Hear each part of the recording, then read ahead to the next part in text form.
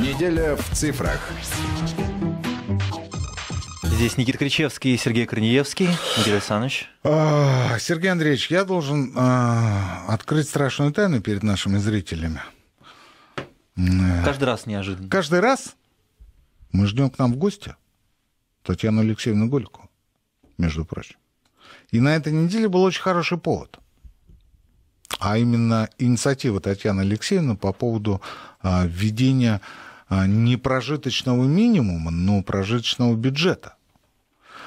В связи с тем, что Татьяна Алексеевна по э, э, независящим от нас причинам не смогла прийти по работе, мы пригласили нашего старого, в хорошем смысле товарища, не новичка, заметьте, Сергей Андреевич, но проверенного кадра, главу аппарата счетной палаты Юрия Воронина Юрий Викторович, добрый вечер. Здравствуйте. Добрый вот это, вечер. Вот это подвод.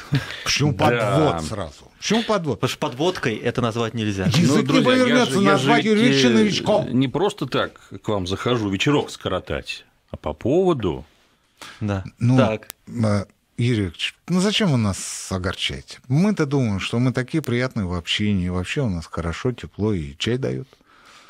С удовольствием. На огонек. С удовольствием. Но А оказывается, вы с какими-то... Чистить- с какими-то чистить нельзя. конъюнктурными целями. Чистить нельзя, я чистить согласен. нельзя. да. Ну вы Но не мы-то, чистите. мы-то вас позвали а, не только потому, что Татьяна Алексеевна по служебным причинам не смогла сегодня прийти, а потому что, а, ну, объяснить там о про- прожиточном бюджете, а еще и потому, что у нас есть несколько вопросов к вам, не, скажем так, совсем социального свойства.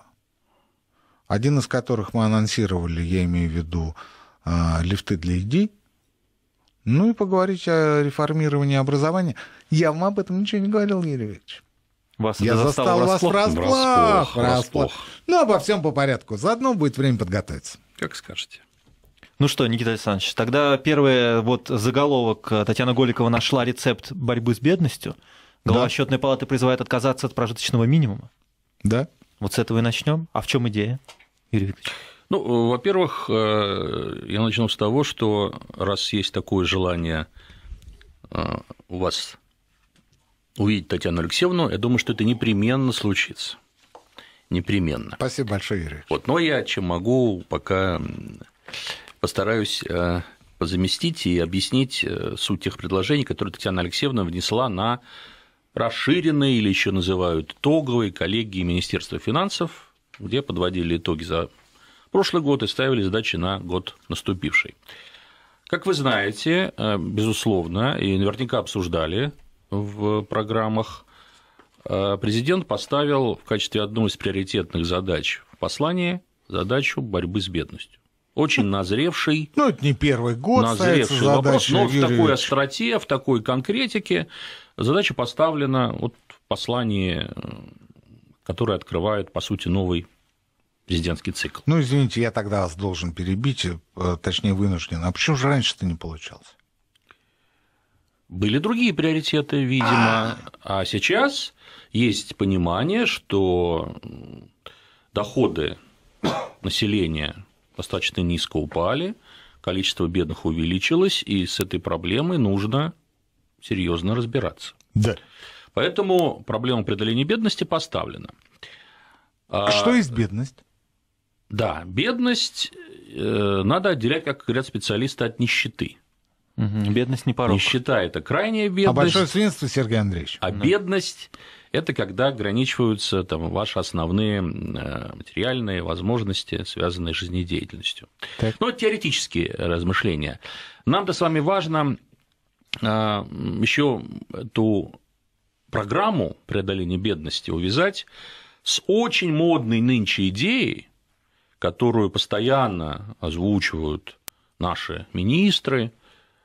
Эта идея, она увязана непосредственно с идеей преодоления бедности, а именно переход в социальной защите на адресный принцип О, места всеобщего или универсального да. с оценкой нуждаемости. Мол, если ты жена олигарха, то тебе пособие по беременности и родам без надобности и так проживешь. Да. Ну, идея очень красивая. Очень. Идея красивая, ее постоянно подпитывает какой-то диалоги Всемирный банк, Международный валютный фонд, они это очень любят обсуждать. Но, на мой взгляд, Э, несправедливо. Дескать, вы э, уже перестаньте давать всем одинаковые пособия, сэкономьте на богатых, Ага. зато у вас появится ресурс для того, чтобы Да. поднять пособие бедным. Да. Вот внешне очень замечательно все выглядит. Но, Но по, по форме все правильно. по, По, существу, сути, да, по сказал сути классик, издевательство. издевательство полное. Да, как сказал Так вот- Владимир Ильич Ленин, между Так вот, прочим. Запишите. э, когда на коллегии Минфина обсуждалась в том числе и вот эта идея, которую в очередной раз высказал Антон Германович Силуанов, применительно к задачам, поставленным по бедности, Татьяна Алексеевна э, высказалась э, таким образом, что реализовывать такой подход, как магистральную дорогу в борьбе с бедностью, нужно очень осторожно, очень взвешенно, потому что существуют условия или препятствия к тому, чтобы к такому механизму перейти. И первое из них Так. – это как раз отсутствие четкого и прозрачного критерия определения этой самой бедности. Потому что единственным инструментом или мерилом бедности, которым мы располагаем за все эти годы, нормативно оформленным, Да. является наш пресловутый или знаменитый, кому как нравится, прожиточный минимум, Так. который считается по трем группам населения – работающие, пенсионеры и дети. Да. Но мало кто помнит, что еще в 1992 году тогдашним президентом Российской Федерации, не будем напоминать фамилию, все, наверное, помнят, Да, сейчас время тревожное, не время надо. тревожно, Без фамилии да, вы задали э, некий стиль сегодня в программе. Рамки, я бы сказал, или, институциональные. или, или правила поведения. Да. А Был издан указ, назывался он о э, минимальных потребительских бюджетах, Да. где правительству Российской Федерации поручалось вот в целях той самой борьбы с бедностью, определения жизненного уровня, государственной социальной поддержки, разработать минимальный потребительский бюджет. А до тех пор, пока он будет разрабатываться, и в стране кризиса не хватает денег, напоминаю, 92 год Да-да. на дворе, разрешить применять э, в качестве вот такого измерителя физиологический минимум. Физиологический минимум. То есть сколько надо, Который чтобы не в- умереть? Да, В, ну, это- чтобы выжить, в этом мгновении который слышно... является критерием нищеты, по В этом сути. мгновении слышно, Юрий Викторович, не только как муха в студии пролетает. А пролетает? Но и как скрипит перо Сергей Андреевич. Ну, Он это внимательно кон- конспектирует конспектирует. это. а чтобы, если правильно. что, я потом вопросы буду задавать. Да, да, это замечательно, вопрос я люблю. Так вот, э, прожиточный минимум – это и есть минимум физиологического выживания, который вводился временно на кризисный период. Да, физиологического выживания. А минимальный потребительский бюджет – это бюджет удовлетворения основных жизненных потребностей. Его еще называют воспроизводственным бюджетом, потому что он рассчитан не просто на выживание человека, а, извините, ну, есть такая терминология, Кирилл Александрович знает прекрасно, воспроизводство рабочей силы. Потому что работник должен, отработав, не просто прожить, но еще и прийти и следующий день поработать. То есть воспроизвести свою рабочую силу, а помимо этого еще и семейные обязанности исполнить, если у него есть детки. Вот все эти расходы не включаются физиологически, он же прожиточный минимум, но должны учитываться в минимальном потребительском бюджете. Но, как мы знаем прекрасно, в России все временное есть постоянное, и за период, прошедший с 1992 года, минимальный потребительский бюджет так и не был разработан официально. Потому что на экспертном уровне он подсчитывается, определяется, есть определенные методики, и он не представляет там большого труда для специалистов. Ага. И вот сейчас, когда во всей своей остроте, можно сказать, поставлена эта проблема, проблема борьбы с бедностью, проблема возможности перехода на адресную систему социальной защиты, как раз и необходимо решить вопрос, а годится ли для этих целей вот это вот самый минимальный э, прожиточный физиологический минимум или прожиточный минимум, к которому все привыкли. Э, По нашему мнению, которое Татьяна Алексеевна изложила на коллегии, не годится, он не решает задач преодоления бедности. И необходимо, ну, как минимум, это вернуться к указу 92 года, выполнить его, наконец, а, разработать минимальный потребительский бюджет и, по крайней мере, на его основе осуществлять критериальный подход к оценке нуждаемости. А, есть, конечно, я должен это сказать честно вам, в мировой практике там и более продвинутые подходы с точки зрения определения бедности. Ну, нам бы, нам бы это Но нам бы Юрий. это осуществить, Юрьевич. хотя бы с чего-то начать, тем более, что это уже предусмотрено нормативно, указом президента. А, давайте сразу. Э, какова была реакция господина Силуанова? Э, я не знаю, какая была реакция господина Силуанова, поскольку он выступил сначала, а, а потом выступил Татьяна, Татьяна Алексеевна, но э, с его стороны, по крайней мере, возражений против этого не последовало а в публичном пространстве. Да. Ну, думаю, меня Юрьевич. удивила реакция, реакция экспертного сообщества. Потому что вдруг почему-то экспертное сообщество стало утверждать, что предложение о замене прожиточного минимума на минимальный потребительский бюджет ведет к, к а, сокра... увеличению отказов в признании человека бедным, то есть сокращению возможностей получения социальной помощи. Но это даже не самое фантастическое. Даже самое фантастическое... Кабыла. Бред и Кабыла. Но самое фантастическое, когда э, некоторые там интернет-ресурсы ага. вдруг э, нашли там, пятилетние, чуть посвежее давности доклады Ранхикса, Ой.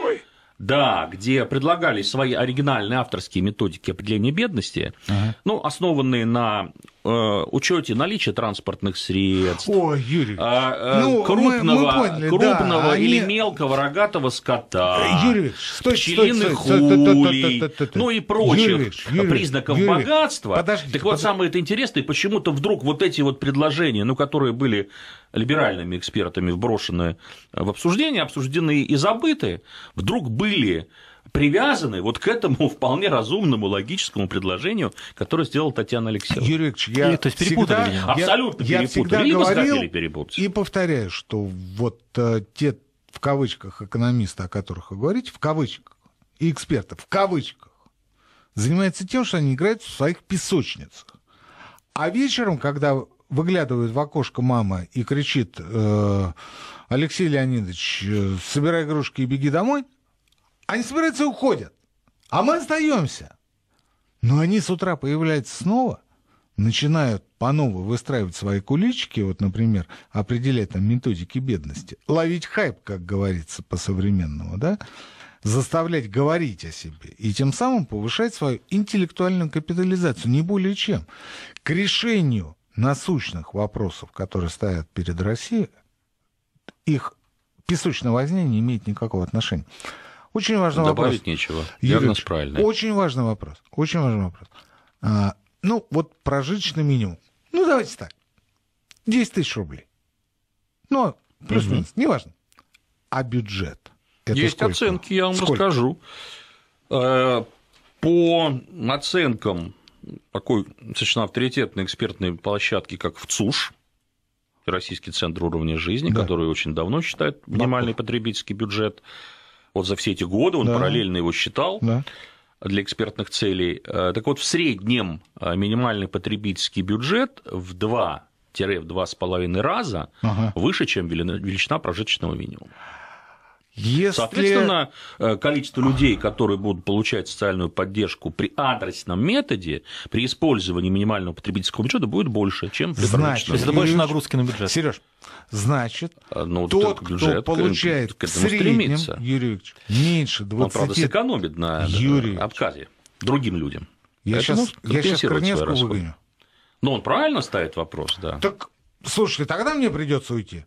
Нет, Никита Александрович, я вас мы да, никуда. Да, да. Вот смотрите, если мы, если мы а, будем исходить из того, что порог бедности 20 тысяч рублей, не 10, как прожиточный минимум, а 20, то это повлечет за собой что?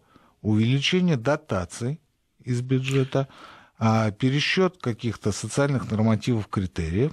Что? Ну, что такое адресная система? Это когда та или иная выплата, тут надо еще разобраться, я об этом тоже говорил Татьяна Алексеевна, а какие, собственно, выплаты мы собираемся переводить на эту адресность, потому да. что мер социальной защиты много, да. Какие-то на страховой основе осуществляются за счет взносов работодателя, да. какие-то на бюджетной. А, вот надо э, четко будет перераспределить э, к страховым а, например, к пенсии или к выплате по несчастному случаю адресная система не подходит просто по определению. Я почему, это невозможно. Извините, так вот, вот здесь перебью. Да. Юрий Ильич, а почему я про жену олигарха, которая э, забеременела? Потому что у нее же денег много, ну, потенциально, в семье. И не обязательно а, получать пособие по фонду социального страхования. Но ведь она же застрахована в этой системе. Ведь за нее же уплачивались Конечно. взносы. И ведь все как застрахованные да. имеют равные Абсолютно, права на страховое обеспечение, если вдруг наступил страховой случай. А иначе дискриминация и дискредитация Безусловно. системы. Безусловно. А и как можно применить адресный подход, например, в этом случае? Нет, в социальном страховании он не применим вообще. Он применим в социальном обеспечении, то есть там, где бюджет финансирует и право связано не с уплатой взносов, да. а усмотренческий характер носит, когда да. бюджет определяет, кому на каких условиях эту помощь оказывать. То только, есть доплаты, только там. социальные доплаты пенсионерам? А, социальные доплаты пенсионерам. А ведь Но если я, будет честно говоря, предложение боюсь, Татьяны Алексеевны, что то тогда нас, будет нарушено решение Конституционного суда. У нас все пенсионеры окажутся за чертой бедности. Ведь все. Нет, пенсионерам это отношение не имеет, поскольку у пенсионеров страховая пенсия рассчитывается по иному принципу, там коэффициент замещения. Я имею в виду, а, как это называется, субсидии на оплату ЖКХ и прочее.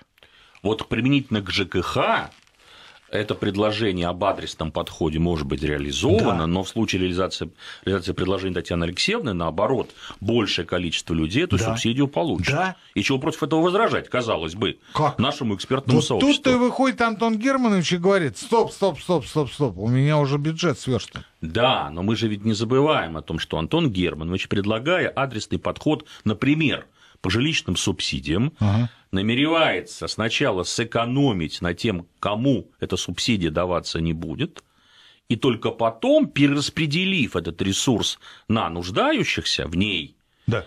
Э, тем самым сбалансировать бюджет, и даже, может быть, увеличить размер этой субсидии, если такая возможность появится. Я, я к чему, э, Юрий Викторович, так подробно расспрашиваю, Сергей Андреевич, чтобы и вы, и наши слушатели поняли, что это вот эта вот чиновничья рутина, бюрократическая работа, это крайне тяжелая, тягомотная, муторная вещь. Да, потому что Татьяна Алексеевна рода решения говорит, надо очень надо поднимать. рассчитывать. А Антон Германович выходит и говорит, да. да. Антон Германович выходит и говорит. С каких э, средств? А, а где взять-то? Да. И вот люди приходят и начинают э, решать эти вопросы.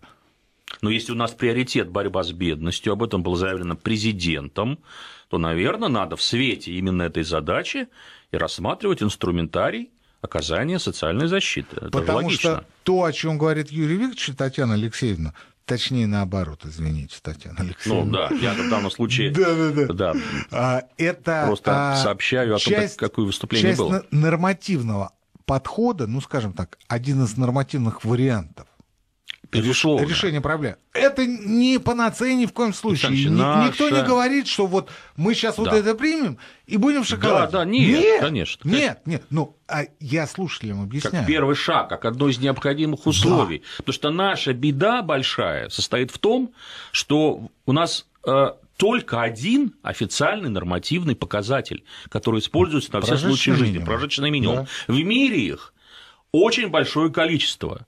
Для страховой пенсии коэффициент замещения, минимальный потребительский бюджет, э, всевозможные э, медианные, модальные э, оценки доходов, которые делаются. Понимаете, очень большой инструментарий. Исходя из решаемых задач, они выбирают тот инструмент, который наиболее пригоден, а нам выбирать-то не из чего.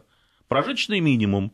И мы забываем о том, что это физиологический минимум, это минимум выживания как можно, используя инструмент выживания, решить проблему бедности. Ну, Невозможно. Это, это, на секундочку, говорит э, не просто человек случайно с улицы, а глава аппарата счетной палаты, уважаемый господа Юрий Викторович Воронин. И он говорит о том, что прожиточный минимум – это физиологический минимум – это то, что удовлетворяет потребности человека в самом необходимом. В самом насущном. Чтобы, да, для того, чтобы просто не протянуть... Без чего жить невозможно. Да, конечно. не протянуть ноги. Никто не говорит о том, что а, действительно на этот прожиточный минимум можно сносно существовать. Относительно, конечно, сносно. Никто не говорит. При, пришел государственный человек и говорит вам, ребят, не думайте, что мы там наверху а, этих вещей, элементарных вещей не понимаем. Уж чего-чего, а это понимаем точно. Но есть же, а, скажем так, идеи, есть предложения по тому, как эту ситуацию изменить. Их немало среди специалистов. А вот почему они не доходят до верху, об этом мы будем говорить уже после а, перерыва. Ну, у нас еще минуты три есть. А пока, пока давайте закончим. Пока есть три минуты. Давайте я, я еще скажу про адресность. Да. Татьяна Алексеевна она озвучивала на коллегии Минфин не только идею э, уточнения инструментария оценки, но и другие позиции. Например, что да. ни в коем случае нельзя переходить на адресную систему да. оказания социальной, социальной защиты до тех да. пор, пока не будет создана и внедрена в промышленное производство информационная система, которая аккумулирует в себе информацию да. о доходах гражданах да. и тех социальных трансфертах, неважно, из пенсионного фонда, из других да. бюджетных фондов, из бюджета, которые им производят. Если пойду по пути уже привычному, который был Юрий обкатан на жилищных субсидиях. Уби, убежите в сторону. На, нет, а что, в сторону. что есть доходы? О том, сам что человек, есть доходы? И, кстати, вот в доходы мы определимся, это очень э, легко. А, а это вот у вас если, легко. Это, если мы придем, это юридически просто определяется. Да, у нас 40% в тени. А если мы, э, это другая проблема. А расходы? Вот если мы придем к тому, чтобы заставлять людей таскать справки в органы, которые будут принимать решения, каждый месяц, да. доказывать, что они бедные или не бедные, да. вот это, кроме издевательства и возмущения людей, ничего не вызовет. Сейчас 21 век, ну, цифровизация. Конечно, конечно, Извините, конечно. поэтому надо, чтобы ну, государство само Юрий, владело этой информацией. Ну, очевидно, однако, не для всех. Знаете, не для всех. Что не что да, потому что пока такой системы нет. Ее только собираются сделать на базе пенсионного фонда, пока до сих пор даже классификатор мер четкий социальной защиты не э, определен. А без этой системы двигаться нельзя. Ее надо сначала создать, а только потом уже переходить на адрес. Иначе будет полная профанация. Ну и... Э... Что касается профанации, я абсолютно согласен. Но это, опять же, повторение моего тезиса о том, что, Сергей Андреевич, не надо стремиться во власть. Там там слишком работы много, много а работы и принятия ответственных решений. Да, так что будете уходить из дома в 6, приходить пол второго. Ночи? Да. И так будет всю рабочую неделю. А, я просто Сергей живу... Андреевич, у меня... в лидер России собирается Ой, я бы собрался, не зовут. Я просто живу в Но доме... Мы можем протекцию создать, Никита Александрович. У меня в доме много чиновников работает, судя по машинам, которые каждое утро... При... Ну, как номера, каждое утро? В 12 дня они уезжают на работу, а к 5 вечера уже сложно припарковаться, поэтому Знаете, я так понимаю, что некоторые работают... режим, я бы сказал. Да, некоторые работают, Почему а некоторые дня нет. уезжают? Потому что им работают до 5 утра. Вы, вы не так про чиновников я... в данном случае, Как не про чиновников? чиновников. Нет, нет, нет. Номера, все как надо. Видимо, это бизнесмены снизу. купили чиновничьи номера. Конечно, ну вы что, Сергей да? Андреевич, ну, ну вот как скажете. Тот, тот высокопоставленный сотрудник, ага. которого я упоминал в, в предыдущем да. часе, он выезжает. Ну, это я точно знаю. А это я понимаю, как и везде. Кто-то работает, кто-то... В 6, в 6 полседьмого утра. Угу. 6 полседьмого. Приезжает где-то... Поверьте, счетная палата работает и в работает час допоздна. Реально, реально, на самом деле. Новости и вернемся. Неделя в цифрах. Пришло сообщение, они думают, что санкциями против Дерипаски и Вексельберга сломят российский народ. Нет, я думаю, так никто не думает. А мне, кажется, таких идиотов а нет. Мне, а мне кажется, они там именно так и думают. А, ну? Мы сейчас против Вексельберга с Дерипаской объявим санкции, Юрий Ильич. И все, и Россия пойдет. И славим народ. Ну, видите, фантазии у них не только в социальной сфере, но и в политической тоже встречаются. А, не знаю, кому это пришло в голову, но я в первую часть я сказал, что, на мой взгляд, это э, ну, просто необходимость, вынуждена политическая необходимость введения этих санкций. Никто, никто действительно, как мне кажется, там, ну, вряд ли идиоты в Америке, да, на, наверху, на вершине власти. Никто же не думает о том, что это действительно каким-то образом повлияет на дестабилизацию ситуации, ситуации в великой стране. Да нет, просто создали все правила игры, да. а теперь по ним вынуждены играть. Да. То, что уже задний ход дать невозможно. Да, плюс ко всему надо, надо каким-то образом реагировать, рефлексировать на ту антироссийскую истерию, которая постепенно там уже сходит на нет, впрочем. Потому что сегодня на повестке дня все больше и больше Китай. Да, потому что экономика, она всегда первична. тут мы вроде бы как решили а, вопрос с русскими, с сирийцами мы тоже вроде как решили, то уходим оттуда. А вы не думаете, какого-нибудь китайского скрипаля найдут, э, потравят и такую же компанию против Китая развернут? Ну, там денег очень много замешано. Все-таки экономика первична. Да, да, боятся, боятся, боятся денег, да. денег боятся. А экономика всегда первична. Я как экономист в корне не согласен, но детали. А это да, это традиция. Ну, вы же не политический экономист.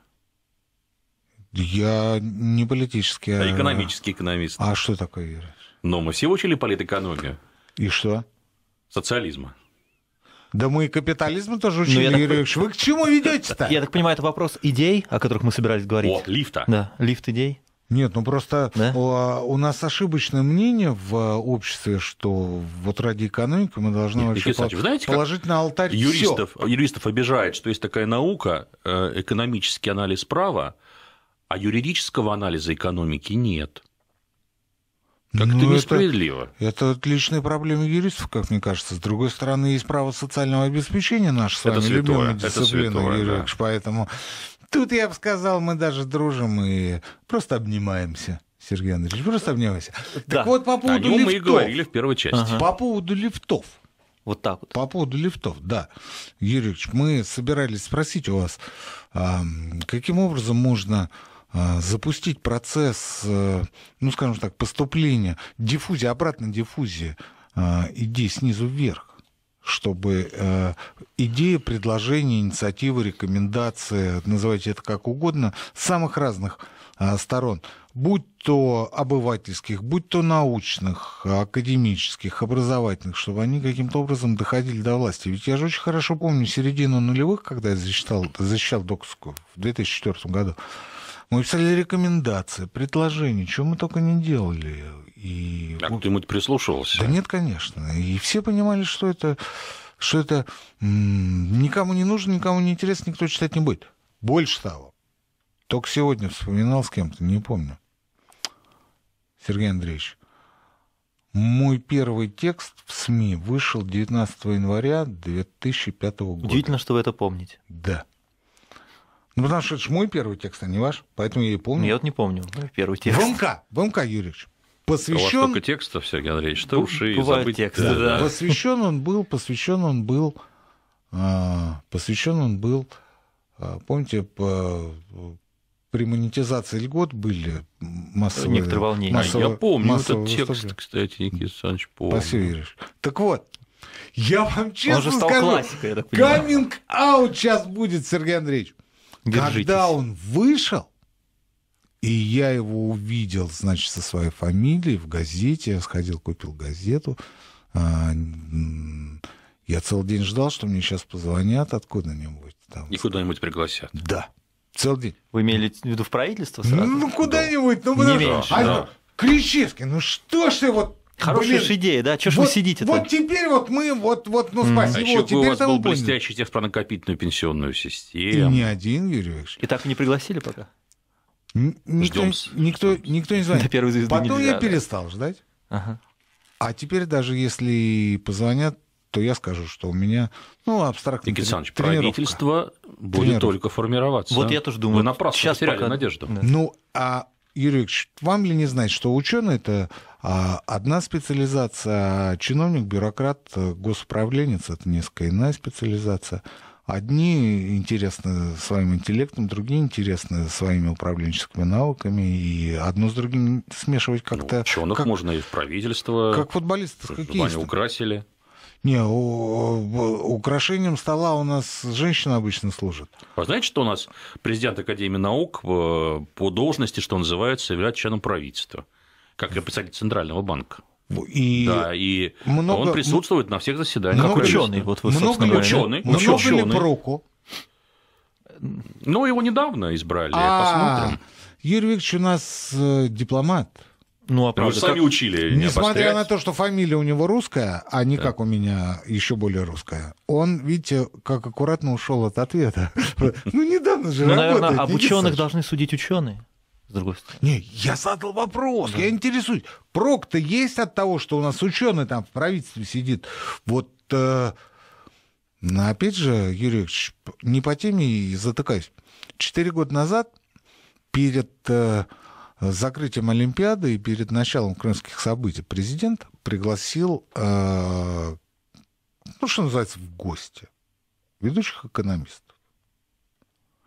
Естественно, там с какими-то предложениями, с, с какими-то наработками. То есть не просто так. Знаете, там приходить чеку попить. Пришли все наши с вами знакомые, известные руководители академических институтов и так далее. Да? Mm-hmm. Вот. Принесли э, огромные э, свои фолианты.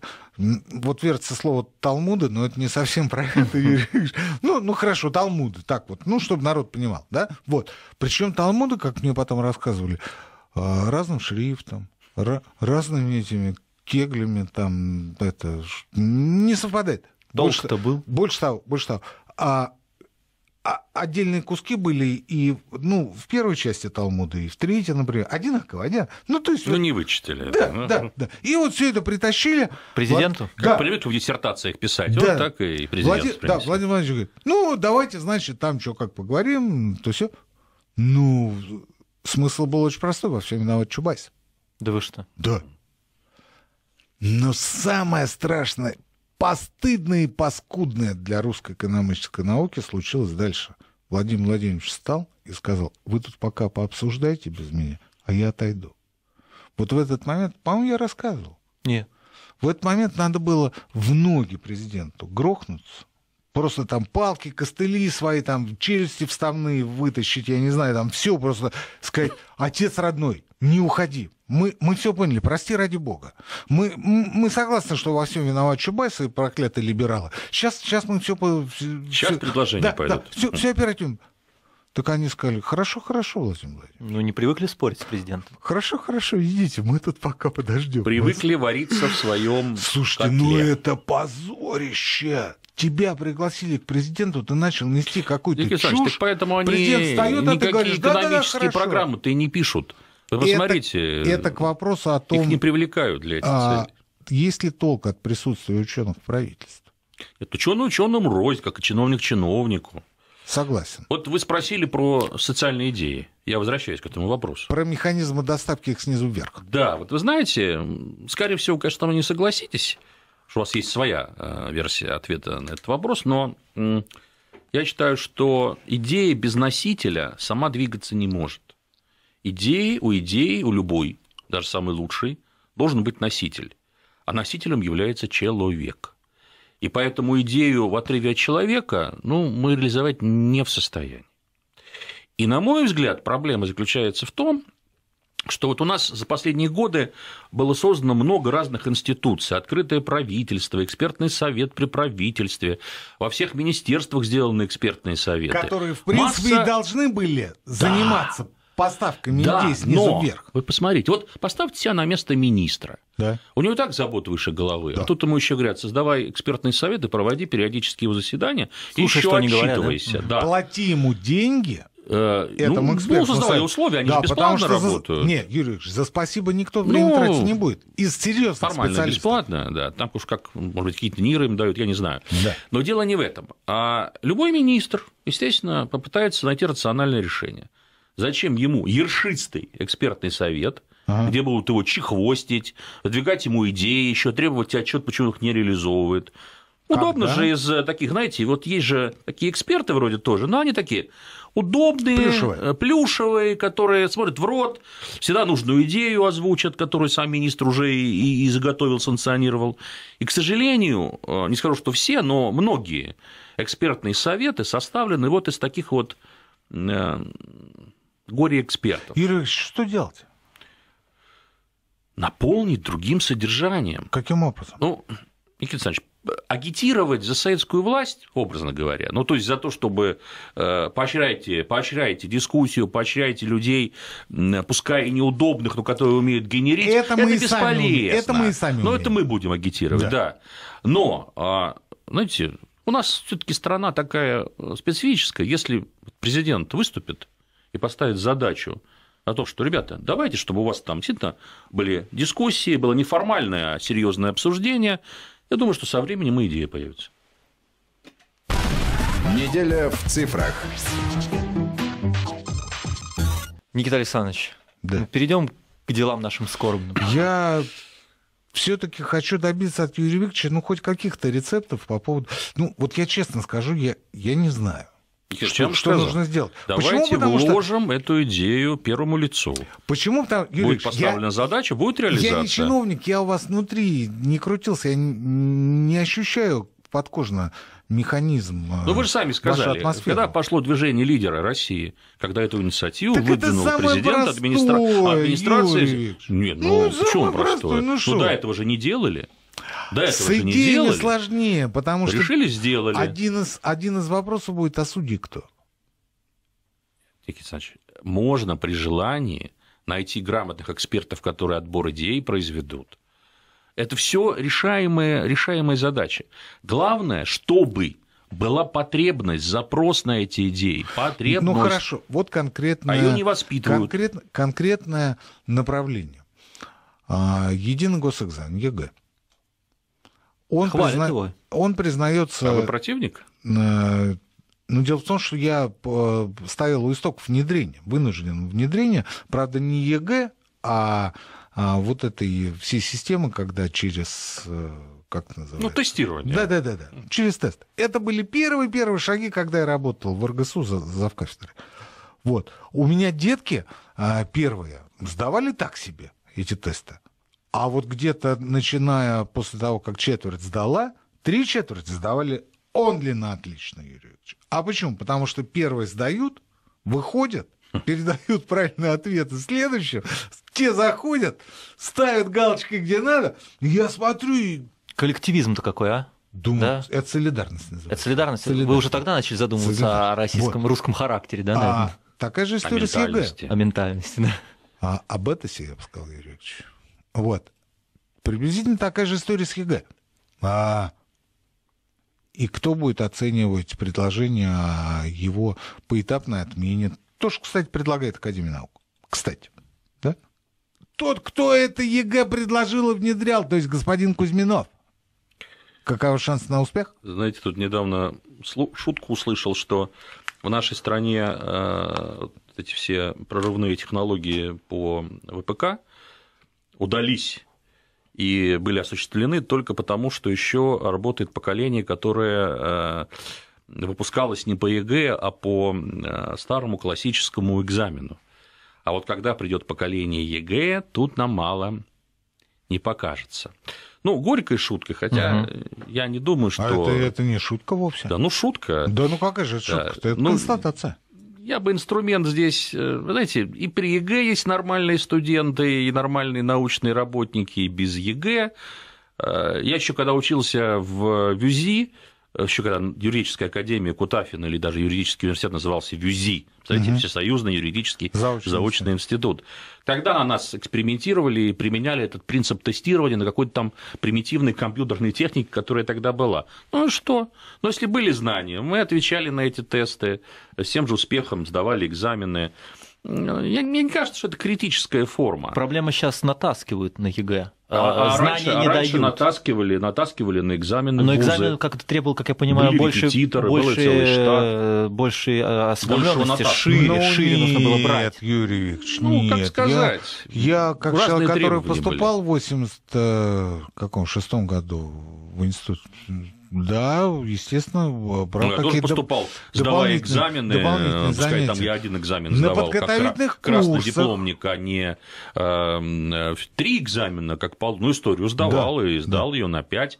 А э, понятно, что если это конкурс дипломов, то студенты освобождены от этого. Мне это тоже очень долго и казалось, и кажется сейчас несправедливым, потому ну, что конечно, да, да, такой нормальный экзамен, конкурс, живой конкурс, конкурс он гораздо справедливее, чем конкурс, конкурс баллов. баллов. Тем более, если бы мы были уверены, что во всех регионах России это проводится по одним правилам и честно, то же мы видим, где наиболее высокие баллы. К сожалению, по эта тенденция... языку, например. Да, да Юрий эта тенденция Юрьевич, сохраняется. Вы, вы не, надо, не надо кивать в сторону, например, там, Северного Кавказа. А я, я же рассказал, а, Никита я, я знаю, Отдельный не, регион. не на собственном, конечно, примере, не буду ничего говорить, но ровно такую историю можно совершенно спокойно провернуть в Москве.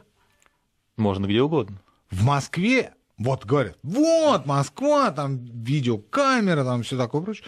Да все работает. Были бы деньги. Игорь Александрович, нарушения могут быть везде. Вопрос ну, их масштаба и цинизма, я бы сказал. Согласен, но мы немножко отвлеклись от темы да. социальных лифтов. Как Соци... лифтеры. Как лифтеров. Да. Поэтому, э, вы знаете, нам для того, чтобы социальные идеи были... Сейчас третий, третий заход или четвертый делаю ответ на ваш вопрос. А вот перебьет Никита Александрович, да. я уверен. Вот ну, а, но... А, для того, чтобы этот лифт заработал, и идеи были востребованы, востребованы, и а, к ним относились чиновники, а я чиновник не ругатель, но употребляю, я любя это слово, ну, государственные служащие, относились как к своим собственным, выстраданным, вымученным, а необходимо а, все-таки сначала провести нормальную реформу государственной службы, чтобы а, государственная служба была престижной, хорошо оплачиваемой, чтобы на нее люди стремились. Вот вы наверняка в первой части говорили о конкурсе людей и называли там три замминистра, которые появились. Вы знаете, я боюсь, что когда они узнают, какая зарплата им полагается месячная, они долго на госслужбе не пробудут. Но ведь не за зарплату же работают. Погоди, погоди. Это Молчу. смотря как. Э, Сергей Андреевич, вот если вы молодой человек, создали семью, да. у вас дети, зарплата имеет большое значение, вы же никуда от этого не денетесь. Если вы одинокий, и у вас нет других забот. Конечно, вы можете себе позволить некоторое время поработать за идею, но долго идею... вы работать за нее не будете. Кстати, все, равно, все равно нужно материальное обеспечение. Молчи. Поэтому, а у нас, ведь вот посмотрите, что происходит. Вот э, в, э, в Англии, Франции, в Германии попробуйте чиновника уволить с должности, ну, если только он преступление не совершил. А так, это фактически постоянные, пожизненные люди, э, которые четко понимают всю свою перспективу, но зато у них и достоинство, зато они и не боятся перед пришедшими политиками, которые пришли руководить министерством от партий, сказать, нет, это нельзя, это непрофессионально, мы это делать не будем. А это будем, потому что это профессионально, это можно. У нас так чиновники не говорят, потому что они понимают, что каждый новый министр – это перетряска всего аппарата. Это приход новых людей, случайных, которые будут годами пытаться, если они проверятся годами, не снимут раньше, нарабатывать навыки, умения, связи, будут формироваться коллективы. У нас каждый раз госслужба перезагружается со сменой правительства с приходом нового министра. Так быть не должно. В госслужбе должна быть преемственность. Вот тогда будут работать профессионалы, тогда они будут знать свое дело, и тогда им нужны будут идеи. Потому что профессионалы – это только те люди, которые способны идею оценить и идею реализовать. Юрий Викторович, у нас остается несколько секунд. Получается, шансов-то пока нет. Почему? Любую реформу, если осознана ее необходимость, можно осуществить. Как, надеюсь, реформу ну, по преодолению бедности. Реформа одна, реформа вторая. А в это время пенсионеры ведь находятся не в замороженном состоянии, они стареют, они уходят. И, ну, если говорить о пенсионной системе. Значит, по пенсионной системе э, нам надо отдельно эту тему обсуждать. Мы ее с кондачка с вами не решим. Спасибо большое. На этом наша программа подошла к концу. Юрий Викторович Воронин был у нас в гостях. еще глава палаты. Аппарата, глава аппарата. Палата. Да. Спасибо мы ждем Татьяну за интересную беседу. Голикову. Я обязательно Татьяне Алексеевне передам. Ну Спасибо за желание. Мы, Никита Александрович, Сергей Андреевич. До свидания. Спасибо. Неделя в цифрах.